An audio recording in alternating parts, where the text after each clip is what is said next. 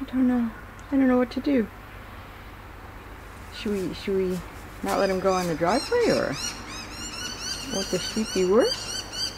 I don't know what's worse. Little one?